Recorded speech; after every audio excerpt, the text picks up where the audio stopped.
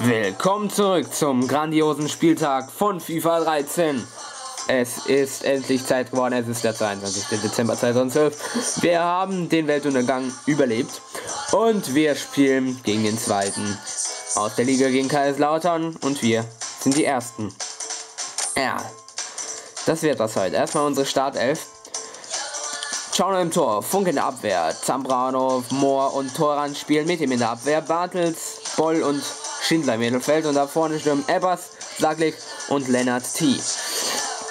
Und bei den Gegnern Zippel im Tor, Dick, Simonek, äh, Yahia und Jessen in der Abwehr. Boleschuk im defensiven Mittelfeld, dann äh, Mittelfeld, Fortunis, David, Alushi und Az Azuak. Wie heißt du nochmal? Azauak oder so irgendwie. Und Bunyaku ist verletzt, dafür wird wahrscheinlich Schächter für ihn einspringen. Oder Michanski, Neto Berola, äh, Dersrov Wuten oder Nzor. Und ja, mal sehen, wer für den einspringt. Und dann geht's. Wenn wir verlieren, haben wir trotzdem immer noch 9 Punkte Vorsprung. Wenn wir gewinnen, dann sind schon 15 und wir können schon mal die äh, Meisterschaft planen und den Aufstieg ebenfalls. Also, dann auf geht's.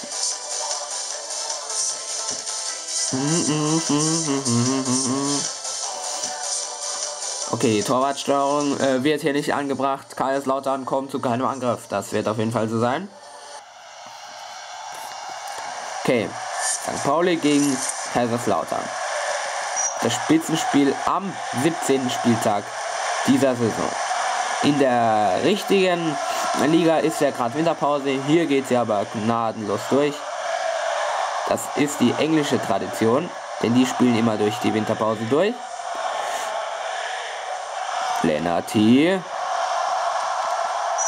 Und das gibt ein Eckball. Funk bei der Ecke. Schindler. Gut gemacht, aber abgeblockt. Und es gibt nochmal eine Ecke, oder? War das ein Wurf?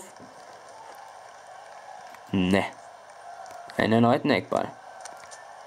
Schindler bringt die Flanke rein zu Boll. Boll. Oh, der hat gesessen. In die Magengrube von einem Kaiserslauterner. Bartels. Boll. Funk. Wie sie jetzt da vorne stehen alle. Und trotzdem den Ball verlieren. Meine Güte. T. Uiuiui. Okay, ich wäre mit einem Unentschieden in dieser Partie äh, sehr zufrieden. Gegentor wäre ähm, leicht ähm, schlecht. Muss mal so zu sagen. Elbers. Naja, hat aber noch den Ball. Er hat noch den Ball. Nach wie vor. Eieieiei, was eine Aktion. Nur das Außennetz war das gerade eben. Ups. Da sieht man es nochmal. Bam. Knapp am Pfosten vorbei. Schade. Und da ist wieder St. Pauli im Angriff. Saglik verliert den Ball. Die echte Partie ja St. Pauli äh, ganz unten, so 14, 15, 13. Kaiserslautern war halt äh, Zweiter oder Dritter. Und St. Pauli gewinnt dann zu Hause 1 zu 0. Und hier ist es halt anders. Da ist zwar Kaiserslautern wirklich auf dem zweiten, aber wir sind halt Erster und deswegen ist mehr von uns erwartet. Ui!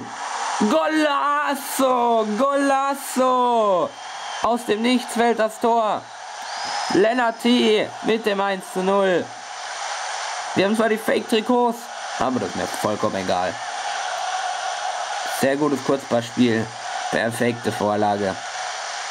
Guter flacher Abschluss. Keine Chance für Sippel im Tor. Und Neto Berola stürmt für Bunyaku, wie ich gerade gesehen habe. Ähm, ja. Ähm, Neto Berola. Da ist er schon, aber Funk gewinnt den Zweikampf. Mist. Azuak. Oh, ganz knifflig. Den bekommt er nicht mehr. Versucht er noch was zu retten, aber nee. Gut, dann die Ecke. Reingebracht von, jetzt habe ich es gerade nicht aufgepasst.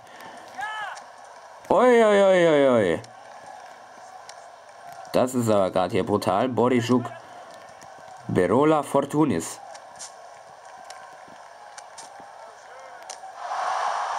Gut geblockt von Boll und jetzt Konterchance. Aber da steht halt keiner und sagt äh, und Ebers äh, hat halt keinen schnellen Gang, weil er schon 32 ist oder so.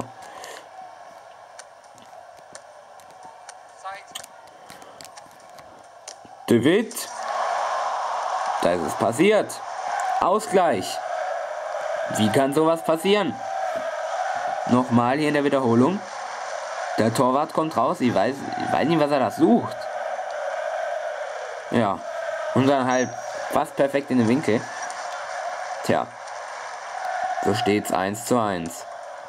Und jetzt sind wir genauso schlau wie zuvor. FIFA-Kommentar von Tom Bayer. Oh fuck. Warum? Warum geht man da rein? Ja, ist klar, rote Karte. Das brauche ich mir gar nicht mehr anzusehen. Jetzt nochmal zählen. 1, 2, 3, 4, 5, 6, 7, 8, 9, 10. Ja, wir sind nur noch zu 10. Perfekt, ne? Wie sollen wir da noch zu einem Sieg kommen? Oder zu einem Tor? Wahrscheinlich eher zum Gegentor. Okay, Schindler ist am Mittelfeld, aber wir haben nur drei im Mittelfeld.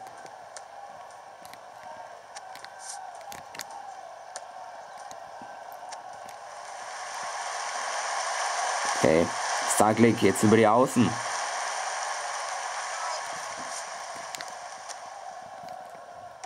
Boah, da steht halt keiner, aber es wird gefährlich. Rückpassregel, hallo. Okay, Nachspielzeit ist gleich zu Ende. Und das war's mit der ersten Halbzeit. 1 zu 1 steht es. Und wir sollten auswechseln. Also ich glaube, da kommt ähm, ein Mittelfeldspieler. Da brauchen wir jetzt einen Mittelfeldspieler. Ähm, uns für Ebbers. Weil wir brauchen unbedingt einen Mittelfeldspieler. Und dann können wir weitermachen, ne? Ebbers war heute auch nicht so beglückt mit seinen Aktionen. Und deswegen kommt jetzt Bruns für ihn, ein Mittelfeldspieler. Denn wir brauchen einen Mittelfeldspieler. Ansonsten sieht es im Mittelfeld ganz schön gefährlich aus und in der Abwehr, tja, jetzt sind die alle schon aufgerückt von den Gegnern und dann können wir nicht mehr viel in der Abwehr machen. Denn man muss den Ball immer im Mittelfeld klären. Wenn das nicht funktioniert, hat man hinten ein Problem. Also nur bei uns. Bei den Gegnern sieht es ja ganz anders aus. Ich weiß nicht, was bei denen die Taktik ist. Oh shit. Okay. Bruns. Vor dem Kaiserslauterner. T. Wohin? Zu Bruns wieder. Und Bruns! Nein! Oh, scheiße. War da noch einer dran? Ja, da war er noch dran. Heiliger. Was ist es? Sind es für Ecken? Oh. Sie wollen mich natürlich ausspielen jetzt. Immer mit ihren Kopfbällen. Zippel und passt so ja hier nach hinten. Es wäre gefährlich gewesen, wenn dort keiner mehr gestanden wäre. Entweder wäre ins Tor gekullert an dem Pfosten oder dann doch noch ins Tor aus. Was ihm dann das Liebste wäre, wenn da keiner gestanden hätte, tun würden. Fuck off. Okay, Chauner musste da auch raus. Gut, Boll. Uns.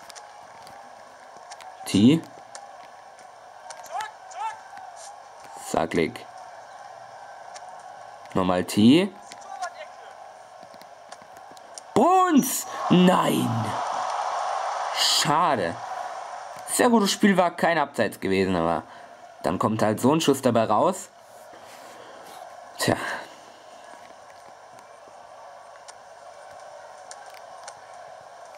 Bartels. Eieieiei. Okay. Bruns ah, lässt sich aussteigen. Azog. Wow, wow, wow. Zu gut gespielt. Da kommt er noch dran, ja. Ah, ja. Weg, weg von da hinten, weg von da hinten. T zu Saglik. Was will der jetzt machen? Er hat da keine Möglichkeit.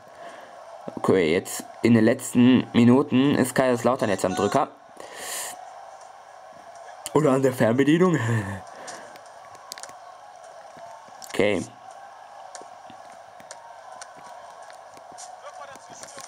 Äh, Lushi, nee, lässt Vorteil laufen. Äh, lässt nochmal Vorteil laufen. Und jetzt gibt es halt den Freistoß und vielleicht eine gelbe Karte. Nee, es wird ausgewechselt. Tivert kommt für Fortunis. Die letzten paar Minuten laufen. Und es gibt Freistoß. Aus einer guten Position, die man verwerten könnte. Macht das direkt. Der war knapp.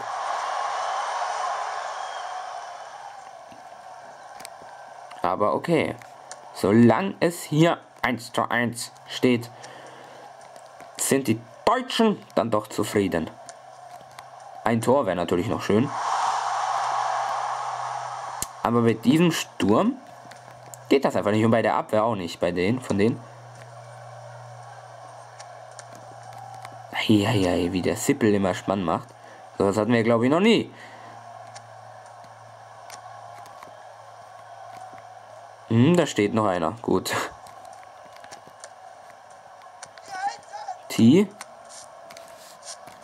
Bruns. Gut, dass wir den gebracht haben.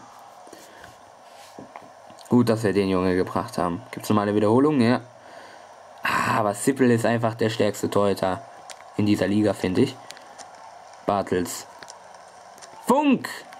Ah, zu schwach bei dem Kopfball. Und jetzt nochmal alles nach vorne.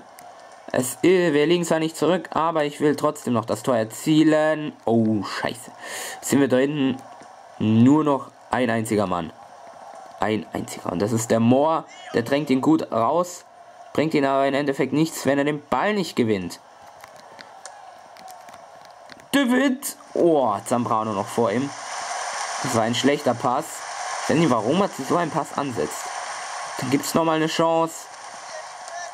Torrand. Alushi. Kurioses Kurzpassspiel.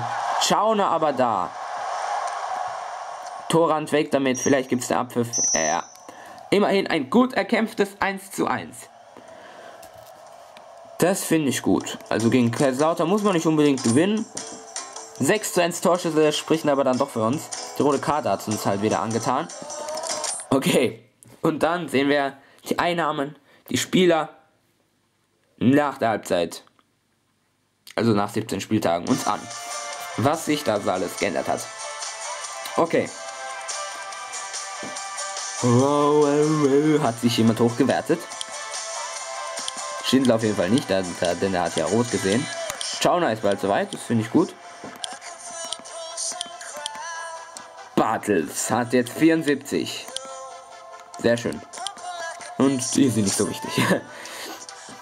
Spiele werden annulliert. Ne? Simuliert. Ticketeinnahmen, jetzt haben wir schon 4 Millionen. Super. Okay, Köln gewinnt 1-0 gegen Fortuna Düsseldorf. Gut. Äh, St. Pauli Kaiserslautern 1 zu 1. Aalen verliert zu Hause 0 zu 1 gegen Paderborn. 68 gewinnt 2 zu 0 gegen Sandhausen. Union gewinnt 2 zu 1 gegen Regensburg. Äh, Erzgebirge gewinnt 3 zu 0 gegen Braunschweig. Dynamo Dresden gewinnt äh, 0 zu 0 gegen Cottbus. FSV Frankfurt Duisburg 0 zu 2. Und Bochum gewinnt zu Hause 3 zu 0 gegen Ingolstadt. Das ist die Tabelle. Nach 17 Spieltagen St. Pauli 12 Punkte Vorsprung auf Bochum. Wow, wow, wow. Und auch Kaiserslautern. Äh, und Köln haben schon 18 Spiele, genauso wie Aalen und Düsseldorf. Und Jan halt dorthin, also Jan Regensburg abgeschlagen mit 7 Punkten. Paderborn 16 auf 16 und 1860 auf 17 mit 12 Punkten. So, und dann geht im nächsten Spiel auch schon die Rückrunde wieder los. Wir spielen gegen Sandhausen, 11. in der Liga. Hinrundenergebnis war, glaube ich, 2 zu 1 oder 2 zu 0, ich weiß es nicht mehr. Auf jeden Fall geht es im nächsten Part weiter am 29. Dezember. Keine Winterpause, alles live. Und ja, Bis dann, Abo dalassen, liken, teilen, favorisieren. Und bis zum nächsten Part. Tschüss!